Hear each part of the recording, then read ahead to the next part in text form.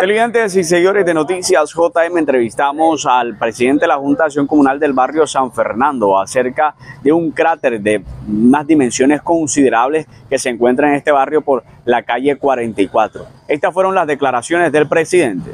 Claro que sí, hoy estamos nuevamente visitando las instalaciones de la alcaldía del municipio de Valledupar. Vamos ya, nos dirigimos a la oficina de obras para saber y conocer profundamente qué ha pasado, porque la semana pasada llegaron unos funcionarios de la alcaldía a señalizar y esta semana nos daban ya lo pertinente que era darle, como dice, el taponamiento a ese hueco que hoy nos está perjudicando a la malla vial de donde transcurren, transitan cantidades de vehículos como ustedes se han dado cuenta. Bueno, esto obviamente podría generar una tragedia este hueco debido a que de pronto en las noches, más que todo porque de pronto no, era visible, pero ya usted dijo que ya generaron una, unas vallas.